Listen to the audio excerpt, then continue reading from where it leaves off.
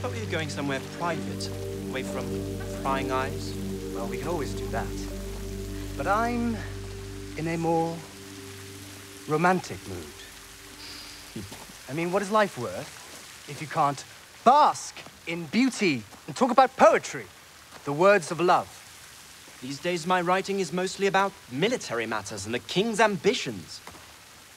And he's always asking you to write such guff. But deep down, you are a poet, a lover, like me. you have a, an understanding of a deeper truth, the reality behind the facade. Hmm.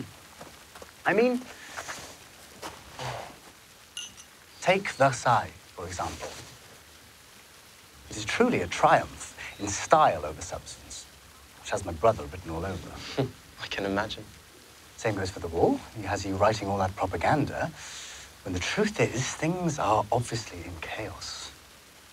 I'm sure His Majesty has matters under control. He knows as much about military strategy as I do about basket weaving.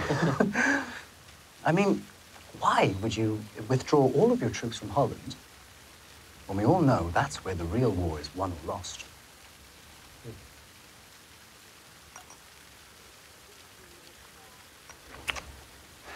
The king uh, expects me back in court. I mean, we could just have sex if you'd rather. Maybe later.